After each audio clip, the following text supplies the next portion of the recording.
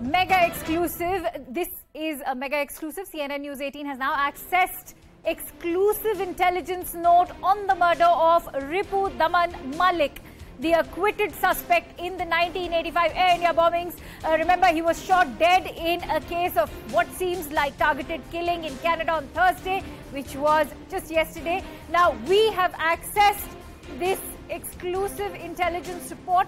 The note, that intel note, states that Malik was clear not to allow the Akal Takht Jathedar to use his school or college stage to speak against India. Now, it's also important to note the other aspect of this intel note. It states that earlier on 17 January this year, Malik had written a detailed letter addressing it to the Indian Prime Minister Narendra Modi, praising him for taking tens of initiatives to redress the long pending grievances of the Sikhs. The letter virtually rattled anti-India elements in Canada.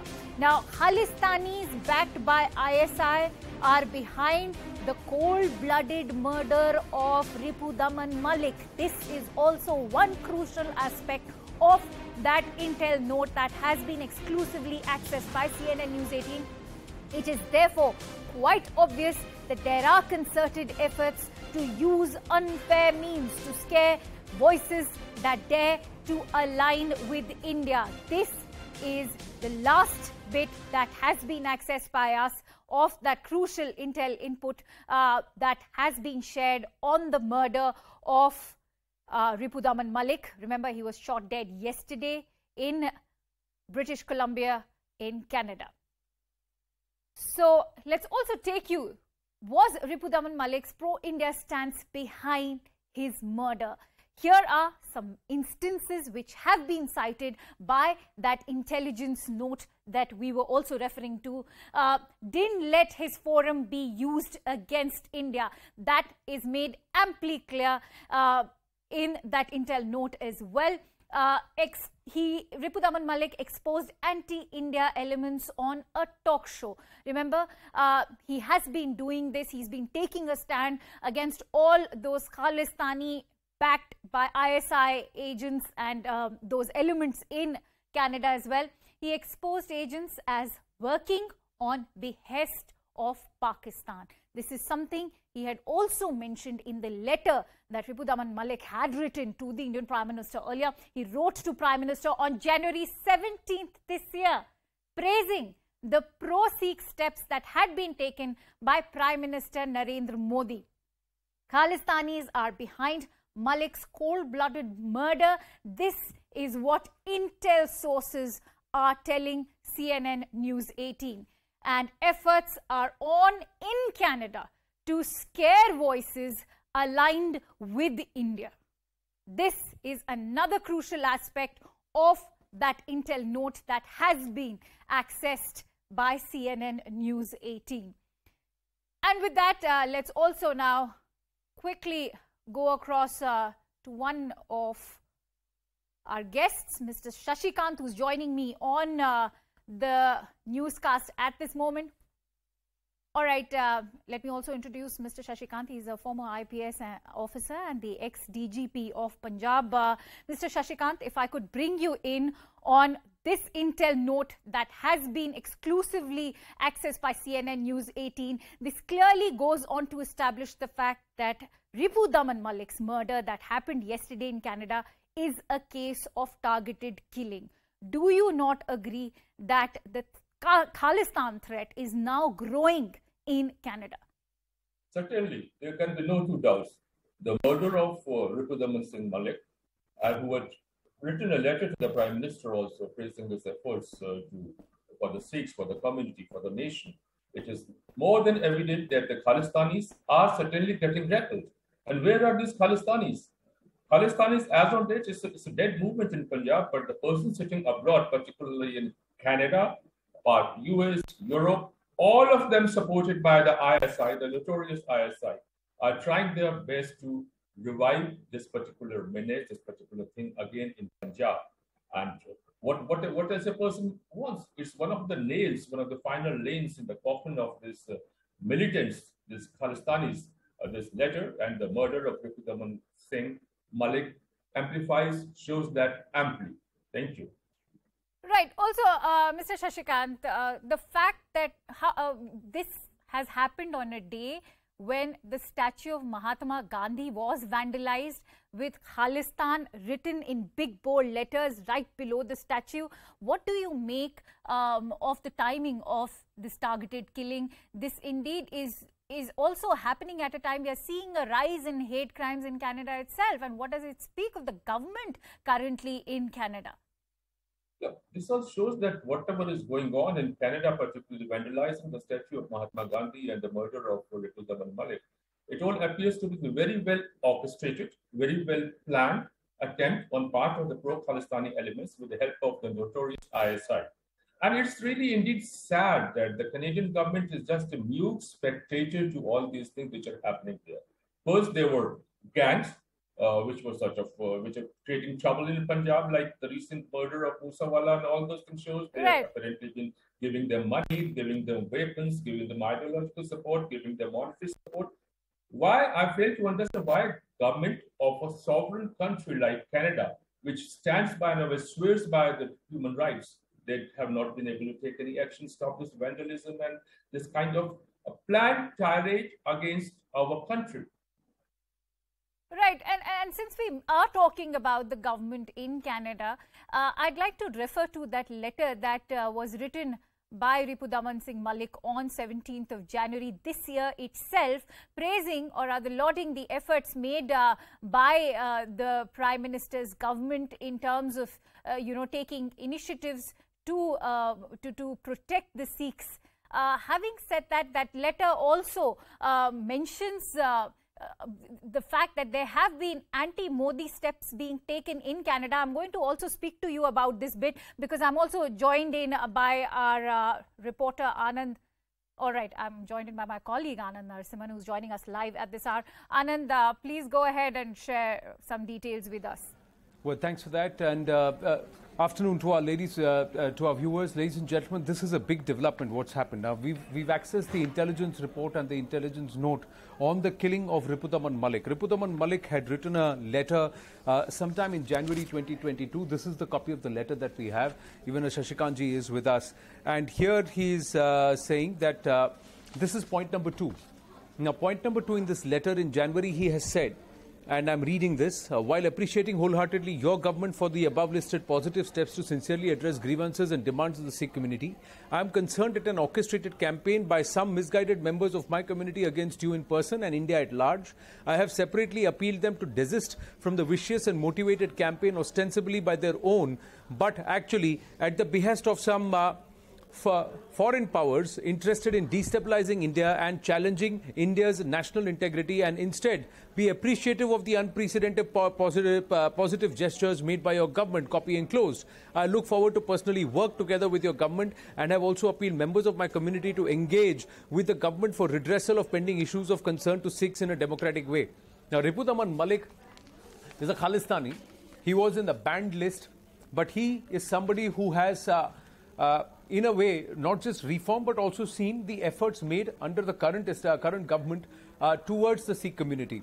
Now, when he expressed all of this, he met with a lot of resistance. Now, we're given to understand, and this is further information that we have, that he actually came to India and he was there all through May. He visited uh, a, a, lot of the uh, areas which are pilgrimages or Sikh pilgrimages through that course of the, through that period, and he left back towards to Canada sometime in June. So that is the that is the uh, uh, uh in, input that we have. That in 2018 uh, he was. Uh, when Canada Prime Minister, when Canada Prime Minister Justin Trudeau had come to India, at that time, Captain Amarinder Singh had uh, handed over a list in which there were a lot of terrorists or people who were Khalistanis who were banned, who were living in Canada and who were in, who were acting against the interest of India.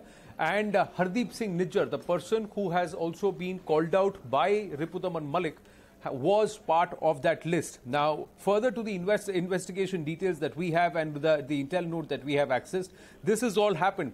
That in this case of Ripudaman, there was, he's the founder of the Khalsa Credit Union and also the Khalsa Credit, uh, Khalsa School. He started the Khalsa College and had invited the Akal, Akal, Akal Takht Jathedar for the, uh, for the event. But he was against the Jathedar making any comments against India. So that's where uh, the uh, Ripudaman Malik started getting threats, and there were also th- threats to Gherao and block uh, uh, uh, and, and, create problems. Now, Malik was very clear that he will not allow the Jathedar to use the school and the college stage to speak against India. He actually went ahead and did a talk show on Sanjha TV uh, with a journalist who goes with a journalist and where he called out two, two people, Moninder Bual and Hardeep Nijjar, and he called them bullish. Now, he made the same reference that he's made in this letter, where he said that people who are obviously working at the behest of some agencies of foreign government. This part that, that the Intel note mentioned is also part of point two in his January 2022 uh, letter. So clearly, there are the involvement of Khalistani elements. Now, this is what we are given to understand that this letter, this date, this letter dated the 17th of January, this actually made Ripudaman Malik uh, perhaps an enemy in the eyes of those who are harboring and who are clearly trying to foster anti India sentiment in the Sikh community in Canada. And this actually rattled them.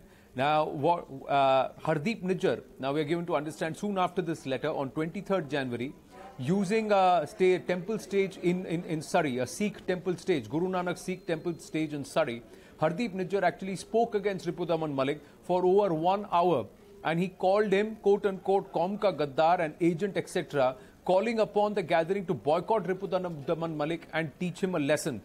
And there are others who, include, uh, who also launched a scathing campaign against Ripudaman Malik. They include Moninder Bual, who was also mentioned by Ripudaman Malik, who said that they were being bullish.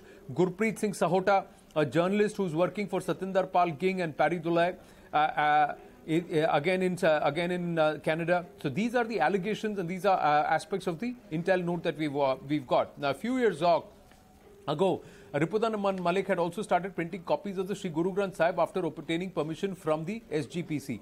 Now, if there, there is a lot of information that is now coming out, but what stands out is here is a Khalistani, an erstwhile person, individual who was banned from India, but this person has had a change of heart. He takes a position which says that this current government is actually working for the betterment and along with the Sikh community, and he has listed all the activities. He said that that uh, you have eliminated the blacklist of uh, restricted visit to India of thousands of Sikhs and granting passports and visas to asylees and their families and reopening of hundreds of 1984 riots closed cases leading to conviction and jail term for some, declaring the 1984 riots as a genocide. So all of these aspects he has noted. He has also said opening of the Kartarpur corridor, Sahib corridor, and also uh, and he's also uh, uh, picked up and said that celebrations of the 350th birth anniversary of Guru Gobind Singh Ji, 550th birth anniversary of Guru Nanak Dev Ji, 450th birth anniversary of Hindi ke chadar, uh, Hind ke Hindi ki chadar Shri Guru Tegh Bahadur Ji, and last but not the least, recognizing the martyrdom of Shri Guru Gobind Ji's younger son Sahibzada Baba Zorawar Singh and Sahibzada Baba Fateh Singh, and declaring 26th December as Veer Bal Divas. So he has. Uh, he has, he has listed a lot of the initiatives taken by this government and said, I believe that you are working in the interest, and I'm trying to tell the community that this is a different government and we need to have a different consideration and our outlook is different. But he's also said that there are those who are completely in the throes of foreign entities that want to bleed India, destabilize India, and create animosity among the Sikh community here against the rest of Indians. So this is something, and, and also try and sow seeds of secession. These are aspects that come out and then raise a huge number of questions uh, on why are these elements being given a free run in Canada. Just the other day, we had the desecration of Mahatma Gandhi's statue. Again, Khalistanis were involved. We have, if you look at the Sidhu Moosewala murder, again the mastermind Goldy Brar is operating out of Canada. Where is the cooperation from the Canadian influ- uh, authorities in terms of cooperating with those who are, who are working, who are using Canadian soil to work against Indian interests. We also saw these elements manifest again when the Hindu community turned around and said that the kind of behavior which is being displayed is wrong and there should be action taken.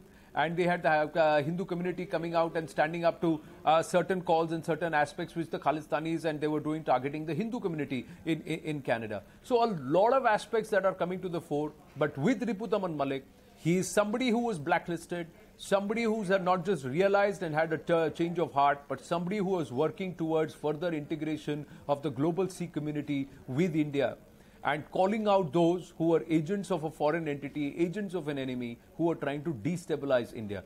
This is where it stands in terms of the, uh, the, the murder of Ripudaman Malik. And it's not just an ordinary murder. There is lots more that uh, hinges on this. That's the big aspect that we are trying to put out here uh, when we are sharing all these details with our viewers. Back to you. Thank you, Anand, for bringing us all those details uh, also mentioned uh, in the letter as well. Let me quickly go back to Mr. Shashikant, who's also joining us on this newscast. Uh, Mr. Shashikant, you heard what Anand had to say. This, of course, uh, the murder of Ripudaman Malik arrives as the last nail to the coffin as far as relations between India and Canada uh, concerned. Um, we've also discussed at length how there's been this lack of effort on part of the Canadian government uh, even though there was a thaw of relations when um, Indian Prime Minister Narendra Modi met Justin Trudeau at the G7 summit, there was a new hope. It seemed like uh, his government would take a stance against the Khalistanis uh, in Canada because there was a silent promise that had emerged from the summit because we were told that even uh, Indian Prime Minister had conveyed his thoughts uh, to the Canadian Prime Minister as well. But how do you see things standing as of now uh, with the murder, uh, or rather the heinous killing of Ripudaman Malik, a man who was trying to make a change to the Sikh community, not just in Canada, but in India as well?